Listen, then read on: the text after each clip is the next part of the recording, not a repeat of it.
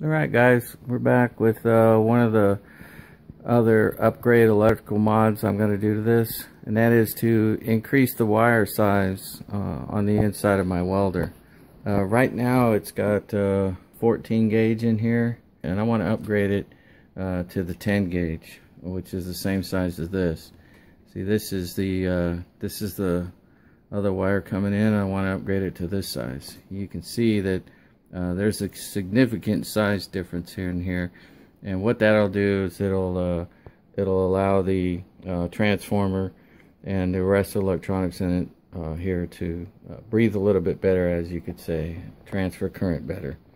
So the things we're going to use in order to accomplish this are uh, some tools here and the cable. I went ahead and cut some more off my cable there. It was about a I guess about a foot and a half, maybe two feet, to make sure I had enough cable to do it. Uh, you need an X-Acto knife set to cut the wires. Uh, you'll need some crimps. I bought these off eBay, and these are the ones out of the out of the set that I took out. Five of these for the jumpers and pigtails. Uh, these are for the piggyback uh, terminals. Uh, you'll need a pair of wire cutters to cut the wire to length. You'll need a side needle nose to get some of the uh, crimps off or wire terminals wires off. They, get, they put them on pretty good. Uh, you'll need your uh, crimper uh, with your teeth with your 10-12 uh, size. You'll need some half inch heat shrink to go over here to keep these insulated and a pair of scissors to cut them and you'll need a candle lighter or a heat gun or some sort of uh, apparatus to go ahead and heat the heat shrink. So with that said, let's go ahead and get started. Uh, the first thing we want to do is go ahead and remove all the zip ties here on the unit right here that are involved with the electrical that we're going to be doing. And there's, uh, looks like four of them here. Uh, one, two, three, four. And what I'll do is I'm going to go ahead and reuse these. Uh, in order to reuse these, uh, you just stick a blade down in here, a really fine blade. You come in on the side and you flip it up and you get underneath the locking tab and then you can push this out and then when you go to put it back in you just use it like a regular zip tie and push it back in the hole.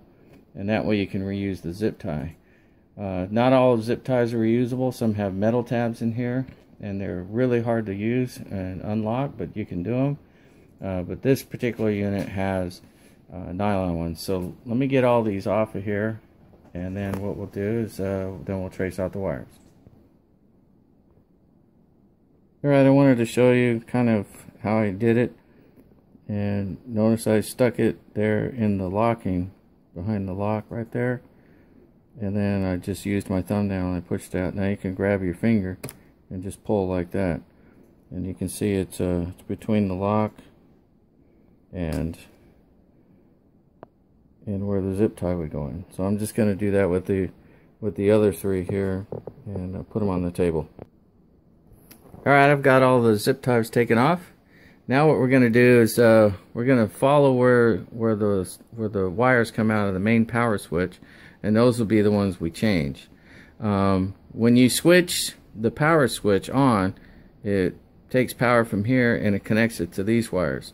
So we're going to go, we'll start off with this big one right here, and we'll follow it down, and it comes to this one. So let's go ahead and we'll take this off, we'll take the pigtails off, right here. And then we'll build the cable and then we'll hook it up and then we'll put the pigtails back on. And that'll be it for for the L1 phase. So let's go ahead and do that real quick. We'll get these off of here. I think I can do this uh, while you guys are watching. There we go. There's one. So let's uh let's follow this down. And it's a good idea to just do one at a time. There's two. All right so now we can get the pigtails off of here. Let me do that.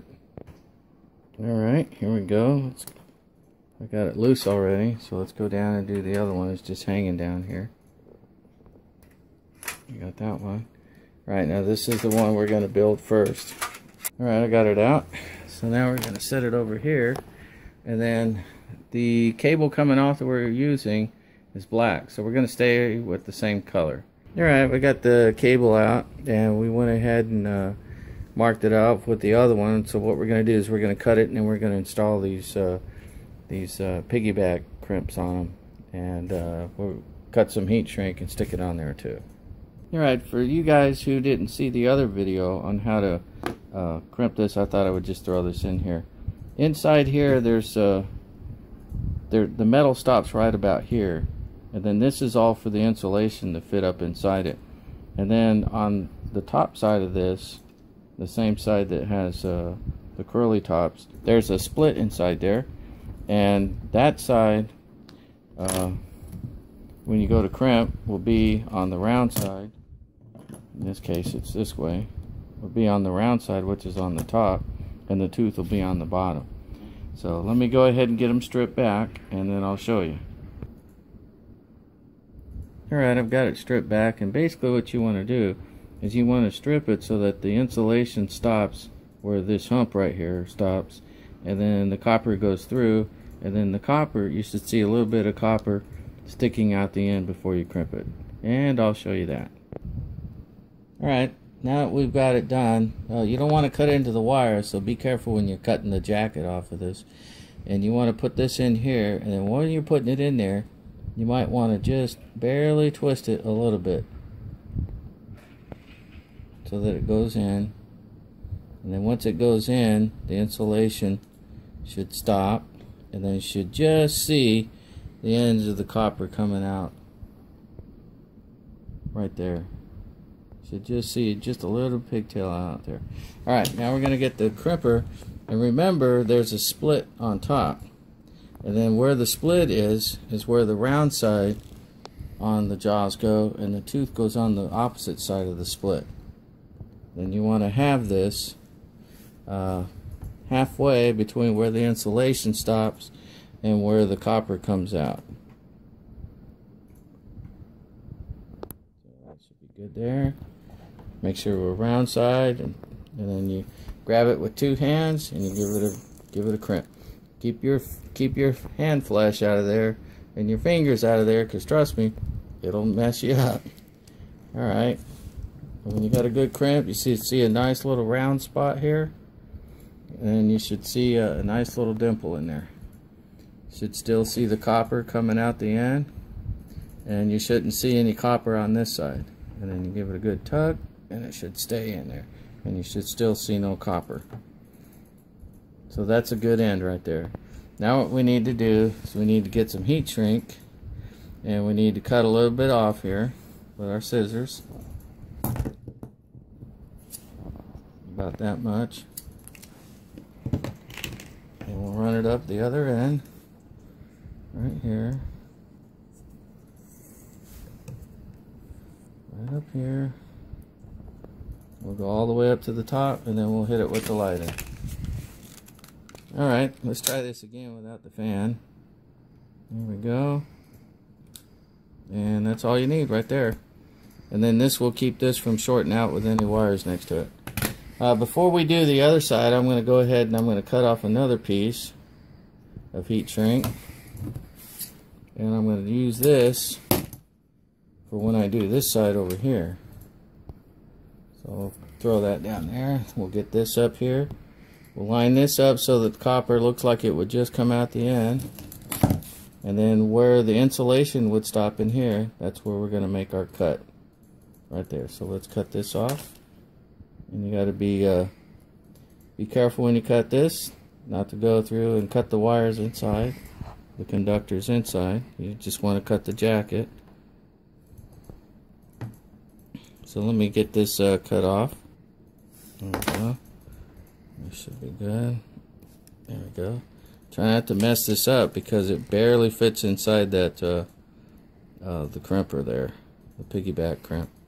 So we get this, and we've already got our insulation or our heat shrink down here. So let's get the top on it. And twist it just slightly. We're putting it in to make sure it goes all the way in. We'll do our uh, crimp. Now remember the split is on the top where the two ram's horns are, the curly tops. So you want the round spot on the top. And you want the uh, you want to crimp it halfway from where the insulation stops and where the copper comes out. Two hands on it. Keep your hands out of the crimp. Out of these jaws right here. Give it a tug. Good. No, no copper on this side. See copper coming out. And we get the uh, get the heat shrink up here. This is half inch heat shrink. And just get your lighter and kind of whip it up a little bit.